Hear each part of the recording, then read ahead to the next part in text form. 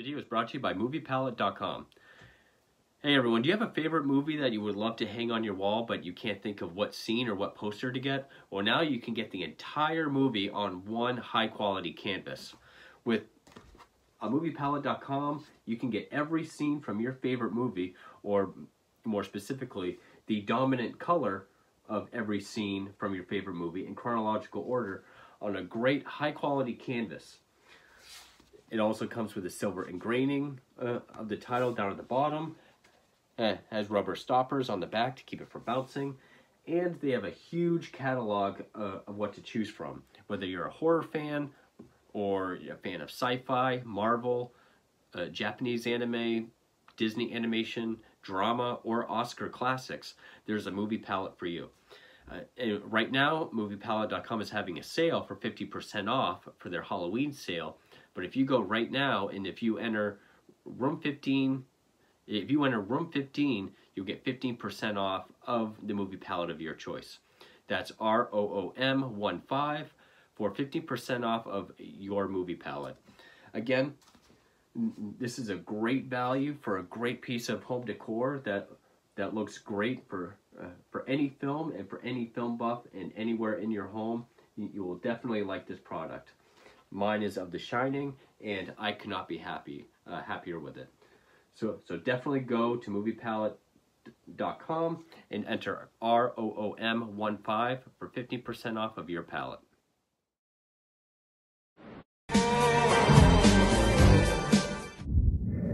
Hey horror fans, welcome back to Room 237, back with another review. And originally I was hoping tonight to do a review of the A24 film Lamb, which was one of the last ones that I had to do. It was the last A24 film that I was waiting on. Had some issues with the DVD. I, have got to return it. It drive me nuts because it's one that I've been wanting to see forever. So I figured, what the hell, I'll just continue my month of October Stephen King run through. And that's what this is a part of, since I was so pissed off about Lamb, not being able to see that. I figured I'd do one of my favorite Stephen King films. Uh, this is without a doubt in the top 10 favorite Stephen King films and without a doubt in my top 10 best of adaptations like from novel to screen. And this is one of the first DVDs I ever got.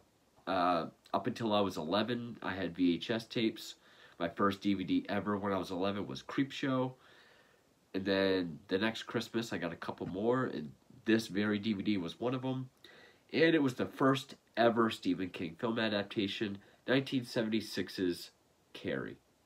Now, yes, this is an older DVD. I know there's, I, I think there's one by Shout Factory, there's one by Arrow, I believe.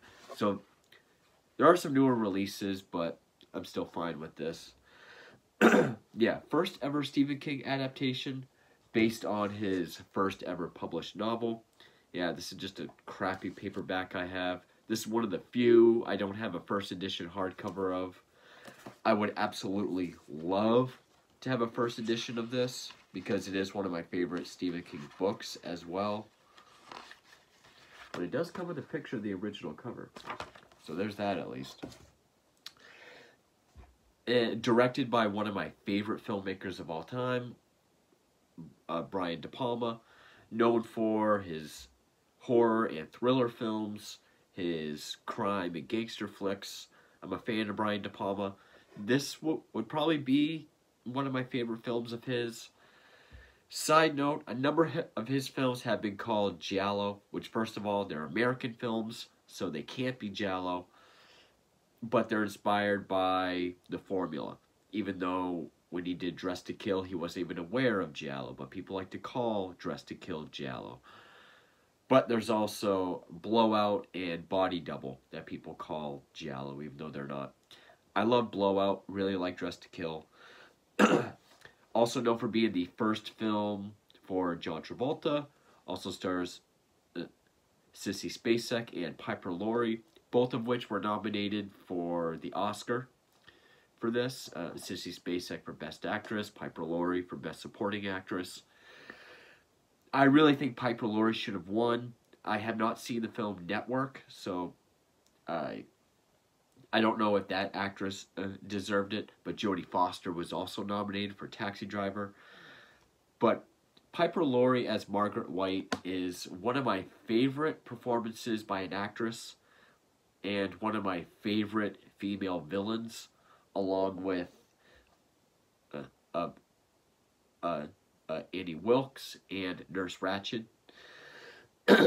and, I mean, it, it's one of the greatest uh, revenge stories ever. One of the best high school horror movies ever. I mean, definitely one of the best horror movies dealing with, especially revenge in the terms of like uh, teenage cruelty or bullying. And yes, this has been remade a few times. Uh, there was the 2002 TV movie with Angela Bettis as Carrie, which I have not seen. And then the 2013 piece of crap with Chloe Grace Moretz, which I have reviewed. This is the best Carrie. Then there's Rage Carrie 2, which isn't even a thing. But yes, this is a horror movie, first and foremost. Uh, I've had several conversations with people who say this is not a horror film. It's a drama with a horror movie ending, which is the biggest load of shit I've ever heard. Just because a movie is slower or maybe doesn't have as many horror scenes, it doesn't make it any less of a horror film. Especially where the whole movie is build up like this one is. I have read some, some of the negative reviews from the 70s that say this is lacking style and that the climax was just crude and clumsy and sloppy. I, I don't know what movie they saw because this movie has style written all over it. Brian De Palma, I, one of the greatest filmmakers, especially to come out of the 70s, late 60s into the 70s. This has all of his tropes that make his movie so stylish.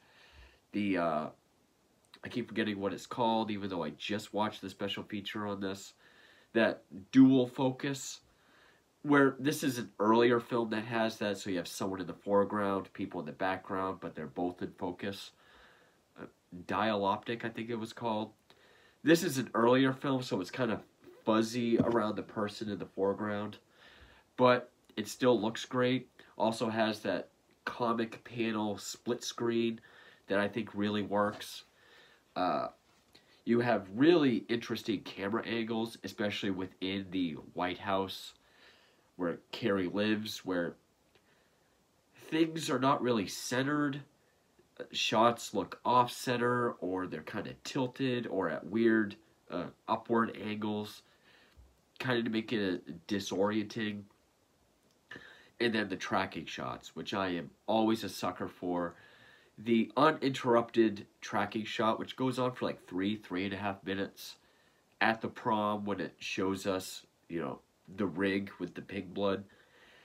One of my favorite tracking shots ever. I'm a huge sucker for long, uninterrupted shots. the best one being the uh, uh, Copacabana entrance in Goodfellas, but this is up there it has a ton of style. And then when you get that lighting at prom, where it just all goes red. Now, there are some some differences with the novel, but very little. I mean, there's the kind of backstory showing Carrie when she's younger, like when she sees the sunbathing neighbor. Her mother gets mad at her and she makes it rain stones. Apparently, that was shot but not used. Which, oddly enough, during the ending of the film, when the house is imploding, the interiors were already shot, so we see rocks coming through. But since the whole raining boulders hadn't been established yet, it does feel kind of random. That was always something I didn't really like. but more so in this, especially with the exterior shots, it does look more like the house is just imploding on itself and sinking. So that saved that idea. I mean, the story's very simple. Well, first I got to go through everything else. So yeah, uh, directed by Brian De Palma. Again, one of his best films, at least in my opinion. Uh, I mean, I love love Blowout.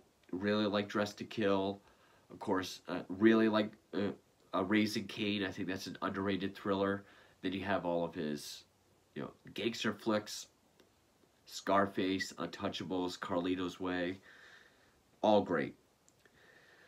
Uh, written by Lawrence D. Cohen, or at least he did the screenplay.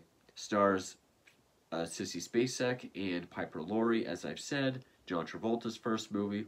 PJ Soles, who would go on to play Linda in Halloween.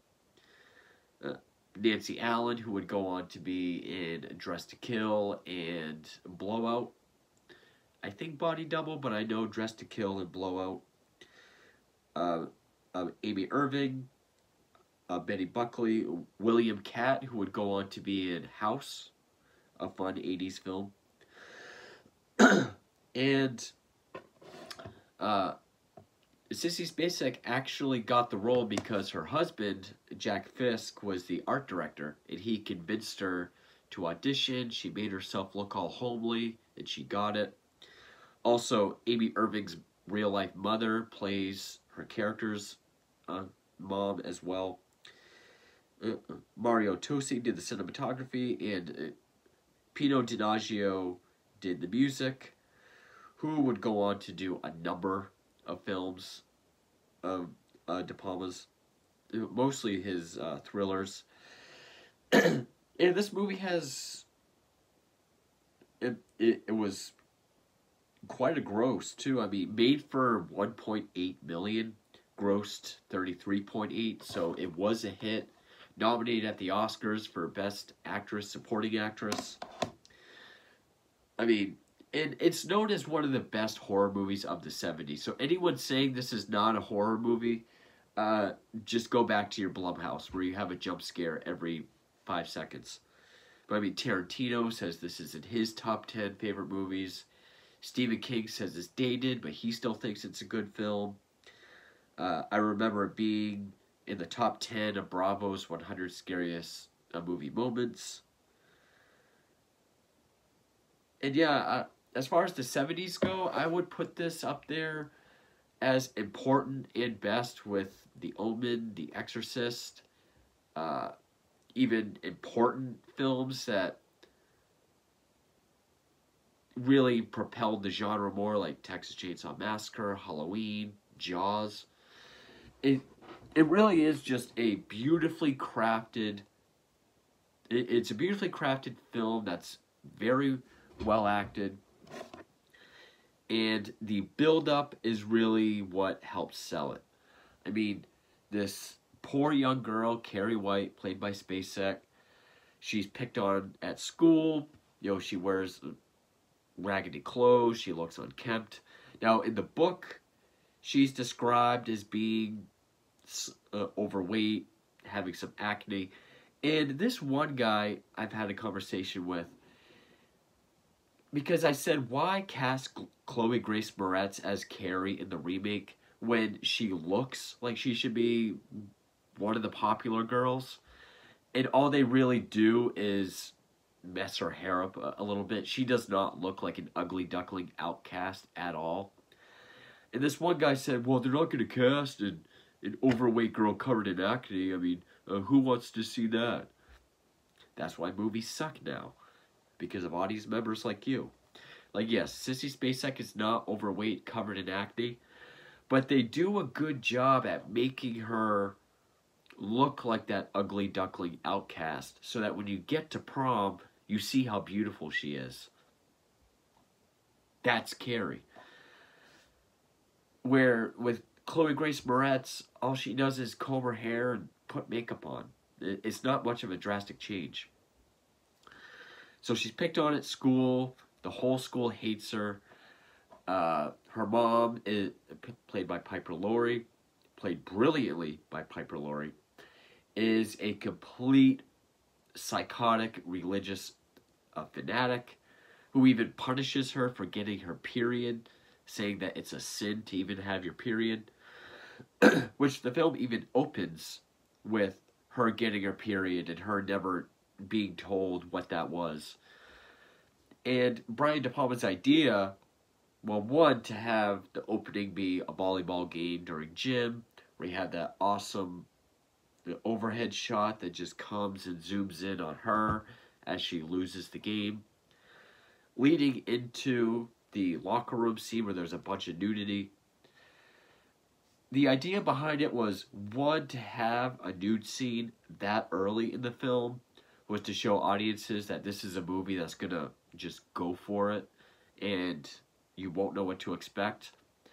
And the way it's in slow motion and the beautiful music is supposed to be more uh, uh, sensual, but then you just get to this freak out where she has her period and they're just throwing tampons at her, at her saying plug it up.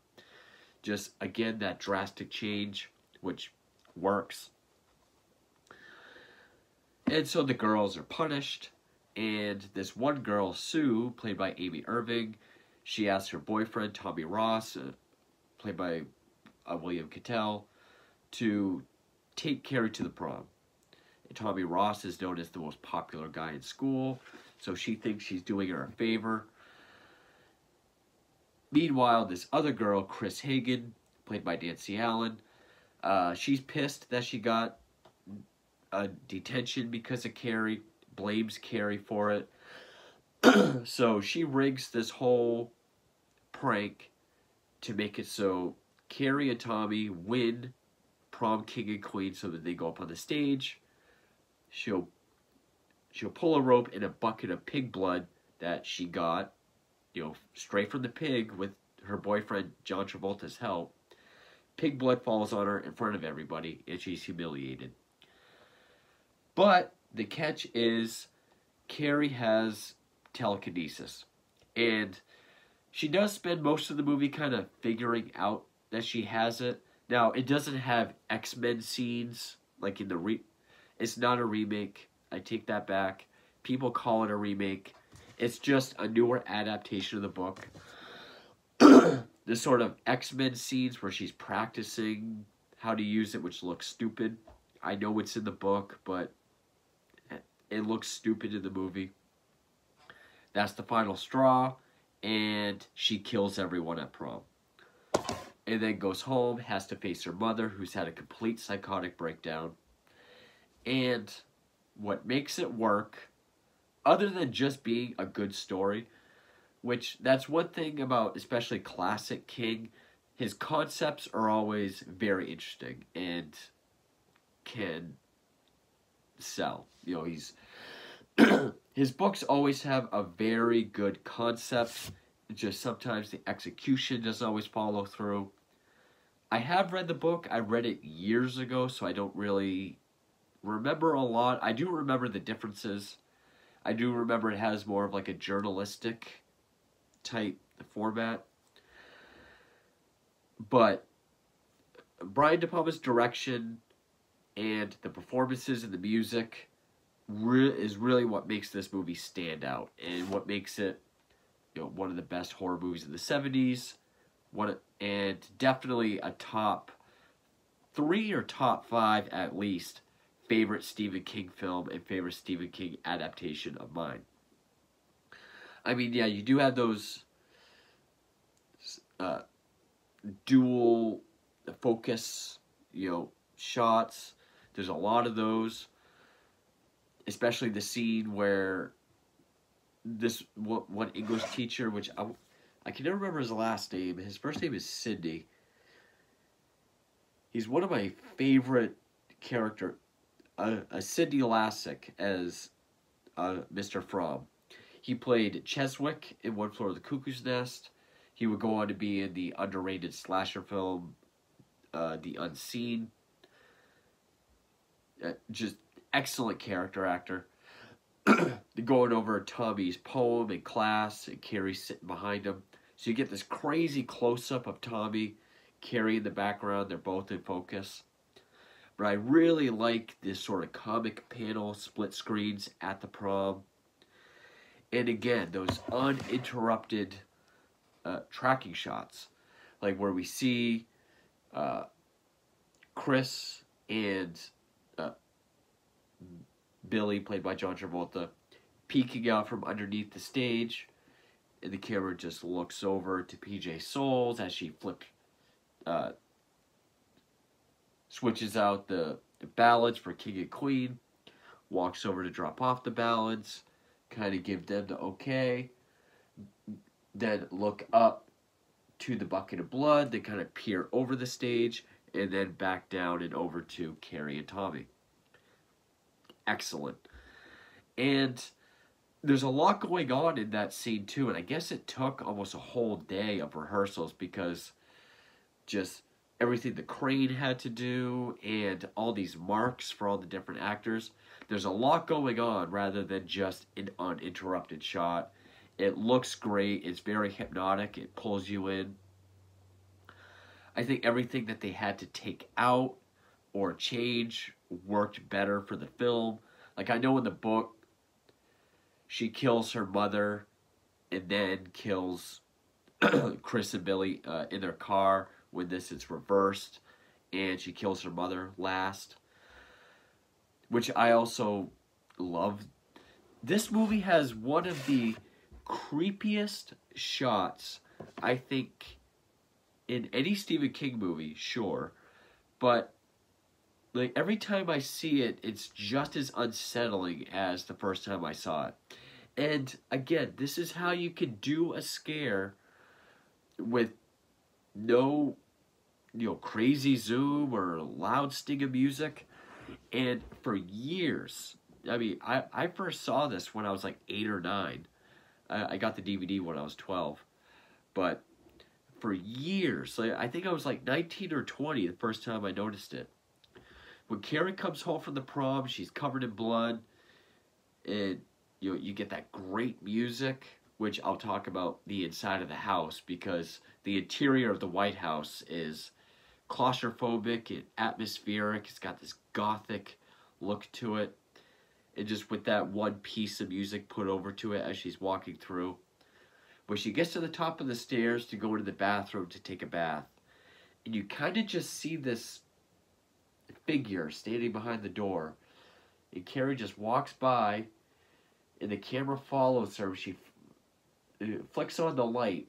For a quick second behind the door, you just see her mother just standing there wide eyed, completely motionless. Almost like that uh, torso uh, mannequin on a stand that you make uh, uh, clothes on, which is right next to her. She's just as motionless as that.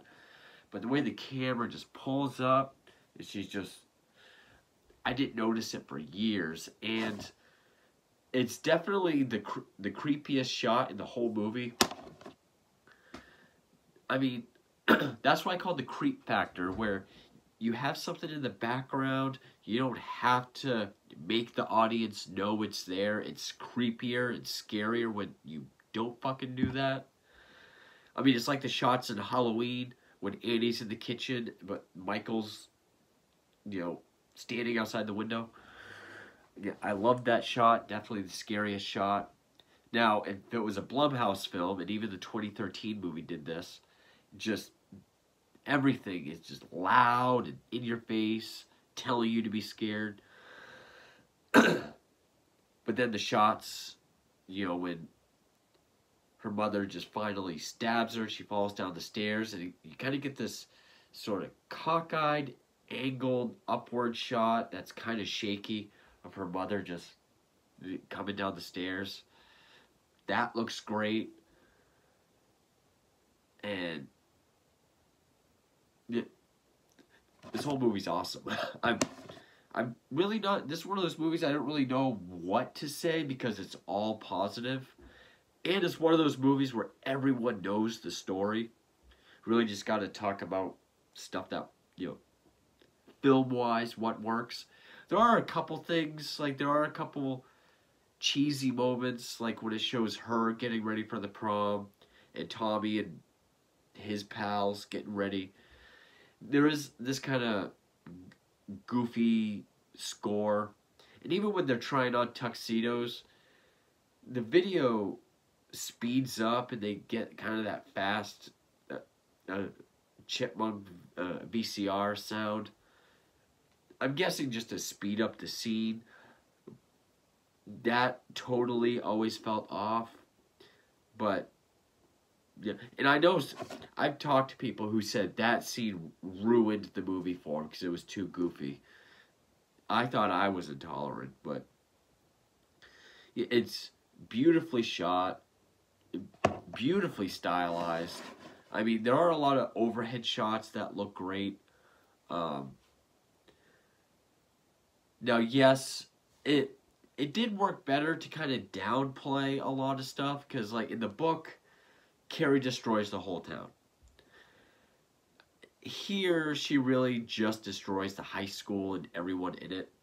I think that works more because I, I think in the book, and also I think in the 2013 movie, it shows that this whole town hates the whites. So she kind of gets this revenge on everyone. And in the 2013 movie, she's doing this Fantasia, like, like, kind of like a, a wizard or something. But here, and it's creepier, just Sissy Spacek, just wide-eyed, just she looks, makes something happen, looks, makes something happen, and just walking, just stiff and wide-eyed. That's creepier than Chloe Grace Moretz just doing this like weird, like contorted walking and just like. And I also read this thing of how people in the 2013 movie were asking, like, how did you get the blood to land on her and look so perfect? because if you remember, the blood is so perfectly applied so you can still see certain parts of her face. And Brian De Palma just says, we had our art director, Jack Fisk, stand on a ladder, dump blood on her. It was that simple. Also, like, the definition of build-up is this long scene with just one piece of music when they're announced as king and queen of the prom, and they rise from their seat, they're walking through the crowd, it's their POV with everyone clapping and smiling at them, and the music is you know the swollen big music, very happy and beautiful sounding. Then they walk up the stage, and we get Chris and Billy's POV, and it's just that do do do. But then we see them on stage, it's all happy again, and the music is building up, building, building, building. As Sue, who's standing behind the stage watching, realizes the rope is going up to the bucket of blood, going back down, and the music is just. Duh, duh.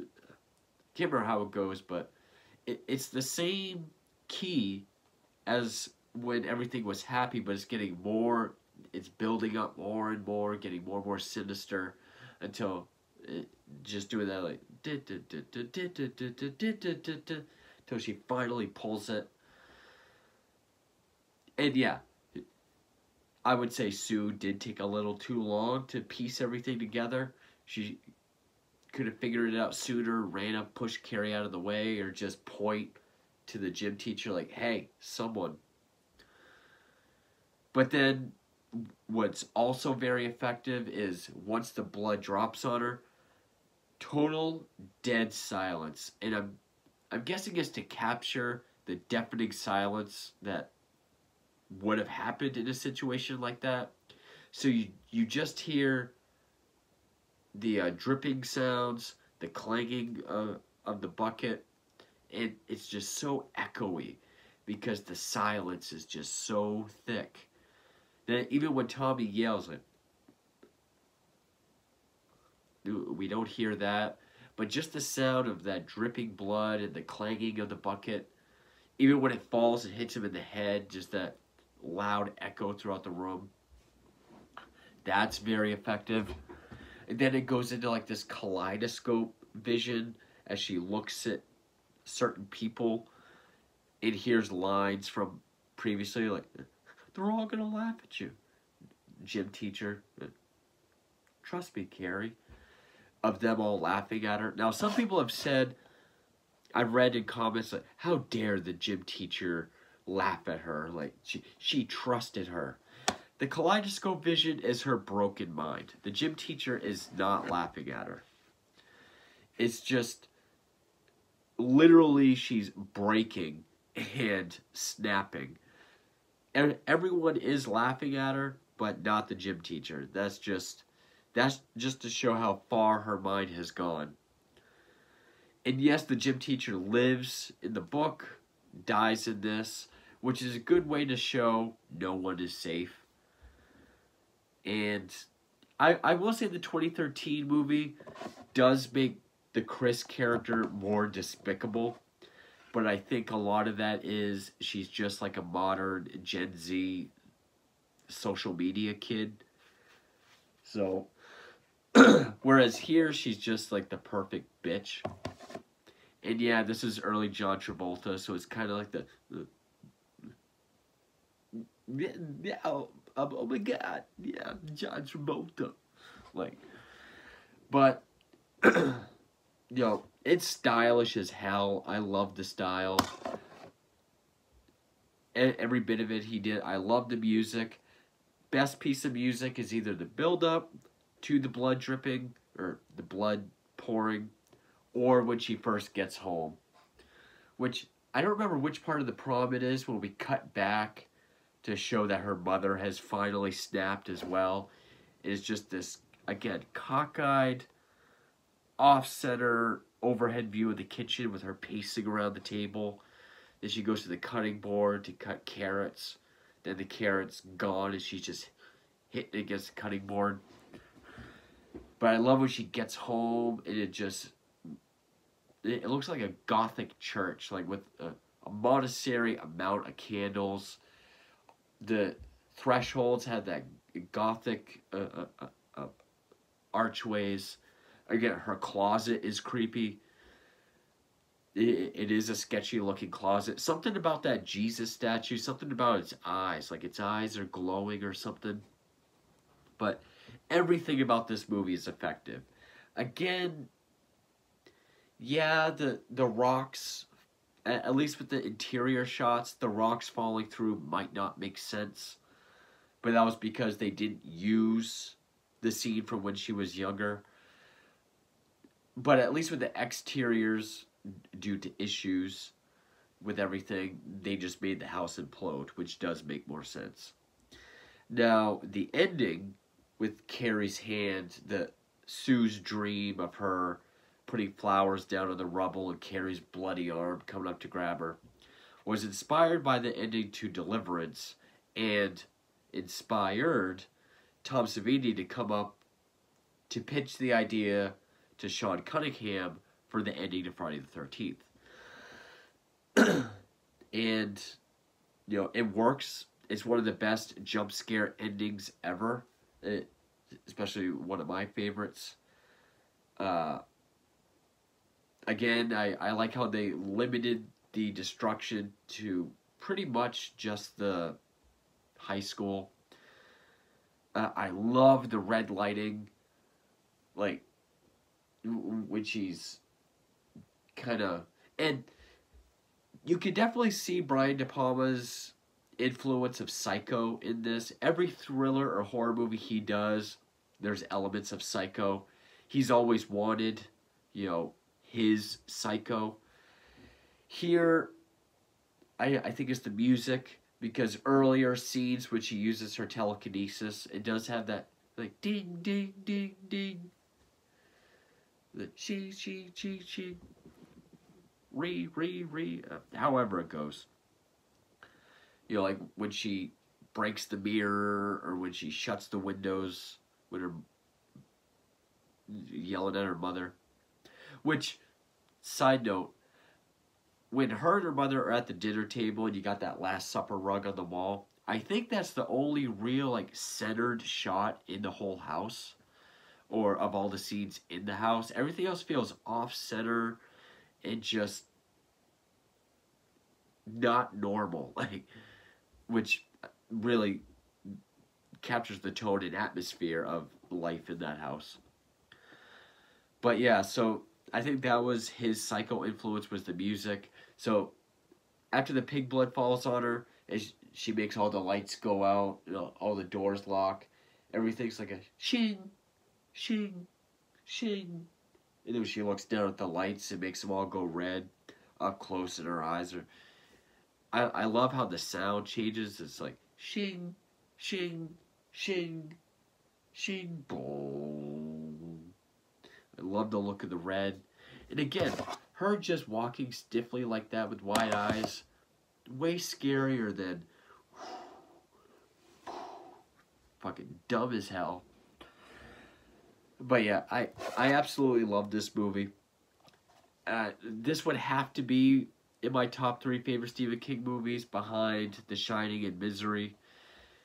Probably top three best adaptations. Maybe my second favorite adaptation behind uh, behind uh, Misery. Maybe uh, the 2013 film is closer, and I've heard 2002 might even be the closest. I'm not sure if the Broadway show is still going on, or maybe not Broadway, but the stage stage musical. I would love to see that. But you you can definitely see how a filmmaker like Brian De Palma and a cast like this really has a whole lot to say about making this story work. I mean, 2013 failed miserably. Far superior film. Uh, um, I love it to death. When I was younger, I, I thought it was a good movie, but I thought maybe it was a little slow, maybe it took too long. I really was just waiting until prom. Now I love and appreciate the whole movie. I mean, every scene is important and it is one big build up to the prom. And I mean, this movie's known for its prom sequence, which is really 20 minutes, I think. So really just 20 minutes of film that kind of helps define 1970s horror. I mean, it's it's that much of a legacy. And just uh, everything is so meticulous. Also, just that little symbolism of Sue realizing what's going to happen if she looks up at the rope, looks back down, sees the silhouette of Chris holding it, then she looks back up, she just sees one small ribbon that like fell from the rafters drift down right over Carrie, and that kind of symbolizes to her what's going to happen. And a good foreshadowing to us as well. Even though because it never says we want to do this to her, this is our plan. We kind of get the idea, but that lets her know and us at the same time fully realize. And it's just as suspenseful as the first time I saw it. I mean, the whole with Sue realizing everything and trying to stop it, it the way the music builds up, just as suspenseful as any other time I've watched it.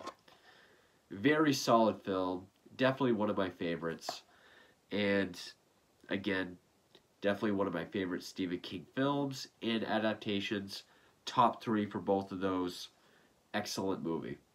And whoever says this is not a horror movie, again, one, reevaluate yourself, and two, I guess, stick with your Blumhouse, your paranormal activities, your your Annabelles, and Ouija's, and Bye Bye Mans and crap that sucks. Excellent movie. I love it. So, I'm hoping to return Lamb and get one that I can actually watch. Uh, I will be picking up Bodies, Bodies, Bodies, which I think comes out on the 8th. Then I'll be doing all the A24 uh, ranking videos. I will check out some new releases. I know Mr. Harrigan's Phone, I think, is out tonight on Netflix, actually. I'll be checking that out soon. Uh, I will check out the new Hellraiser at some point, but I do have more Stephen King films to get to, so uh, stay tuned for those. And uh, sorry this video was a little longer, but anyway, uh, thank you for watching.